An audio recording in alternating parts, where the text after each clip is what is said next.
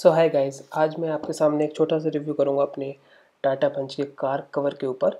इसे मैंने अमेज़ोन से चार महीने पहले करीब पंद्रह सौ रुपये में बाई किया था। आजकल भी इसका रेट लगभग इतना ही है।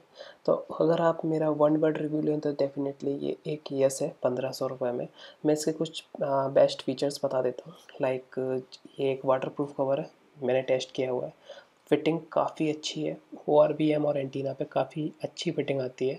प्लस इसके अंदर कॉटन की लाइनिंग है सो दैट कि स्क्रैच ना पड़े कार के ऊपर। और कार के चारों तरफ़ एक इलास्टिक भी है। तो वो इलास्टिक अब चार महीने के बाद थोड़ी ढीली हो चुकी है बट उसके लिए भी एक नीचे लॉक दिया हुआ है, ताकि वो इलास्टिक ढीली हो तो वो आप लॉक लगा सकते हैं।